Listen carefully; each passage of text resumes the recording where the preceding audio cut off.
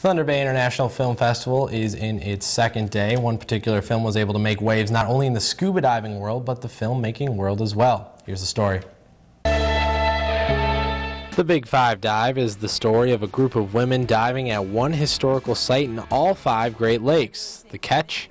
They had to do it in 24 hours. It was an adventure for everybody involved, even those of us who didn't dive. Um, I filmed from the shore and got to watch all of this play out, and it was it was so fun to see them get out of the car and be kind of tired and you know needing to get suited back up and, and everything and then it was time to dive and they were ready to go elizabeth kaiser is one of two women filmmakers present at this year's festival and her experiences in making films draw similar parallels to that of her subject women making waves in a traditionally male dominated field you know, the Oscar nominees just came out. This is the very first year in 90 years of the Oscars that there's a female cinematographer and only the fifth woman in history to be nominated even for the Directors Award.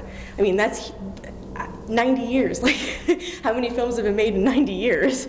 Not all experiences have been positive for Kaiser, especially being one of the few that work behind the lens and keyboard. I got hired to edit a film solely because I was the only woman listed on a database that was an editor. I mean, which is an interesting. And when I showed up, it they didn't even necessarily want me because of my skills. It was solely because I was a woman and they wanted to have a woman attached to this film.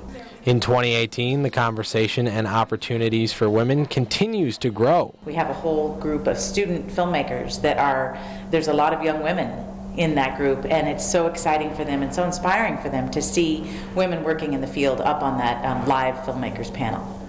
The future is exciting for Elizabeth Kaiser, and when we asked about her next project, we have a couple in the works, but you know they're they're secret right now, so.